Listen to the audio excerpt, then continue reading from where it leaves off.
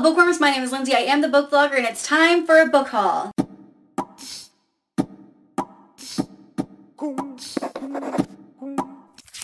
All of these books are ARCs, every single one of them. First one is The Magic by Rhonda Byrne. She is the author of The Secret, which became a documentary, a documentary that I have seen like three or four times. I am a huge advocate for the laws of attraction and thinking positive and the things that it can do for your life.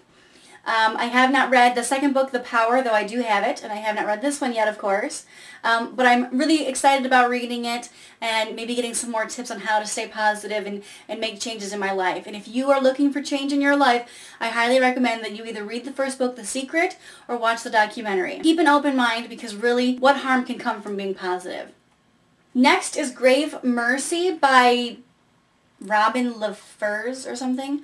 Um, this, believe it or not, is a young adult novel. It doesn't really look like a young adult novel, but it is. It's about a girl who goes to live in a convent, and I think there she discovers that she is somehow blessed by the god of death, which gives her certain powers, and they want to train her to become an assassin. The synopsis implies that there might be some struggle whether she wants to embrace that or not.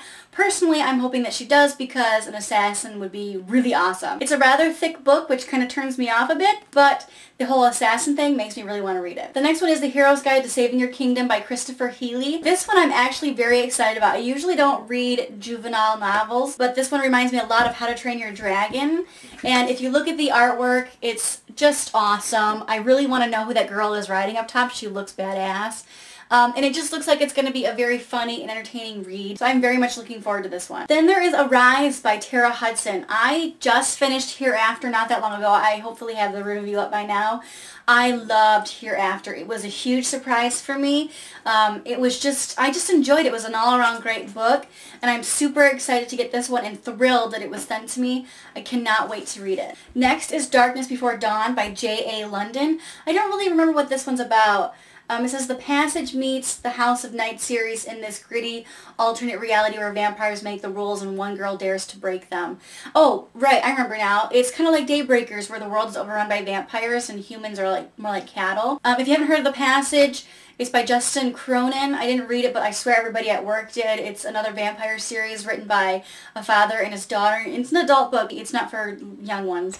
Um, it's a rather thick book that I heard was amazing. But I'm very interested in this one and you'll definitely be getting a review. Next is For Darkness Shows the Stars by Diana Pet Pet whatever. you know who she is. Who doesn't? Um, I read, um, I tried reading Rampant which I think is the first one. Yeah, Rampant's the first one. I was really excited when I got that book. I tried reading it and I just couldn't finish it. It felt like the author didn't take her writing seriously, or she didn't take her story seriously, or it felt like the character didn't take the story seriously. I don't know, it just really didn't work for me, so I never, I wasn't able to finish it.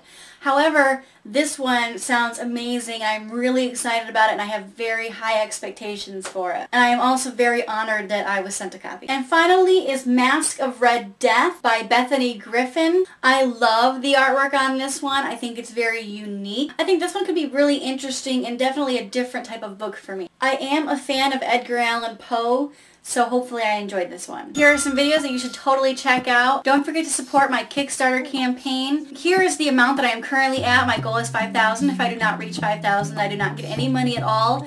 No funding whatsoever to finish my book Exaulta. So if you want to be reading Exaulta, then you need to go to that campaign and support me by pledging. I love you guys. As always, happy reading.